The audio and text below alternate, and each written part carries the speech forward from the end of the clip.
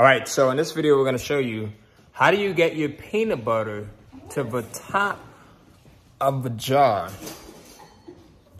when it's all the way at the bottom, when you've got just a very little bit of peanut butter left. So for this special episode of Money Love Speed, we got King Tyler Cohen. So Tyler, how do you get your peanut butter, all right? You just spin it.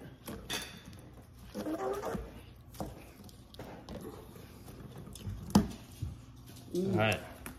So let's see what it looks like. Boom!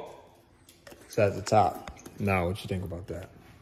That must have. You trying to post that video. All right. So if you want to learn more tricks like this from the Cohen household, let us know. More importantly, instead of spending peanut butter, you should be spending your cash flow. Cash flow allows you to go in and buy more peanut butter when yours gets low to the bottom. Right? Cash flow, cash flow, cash flow.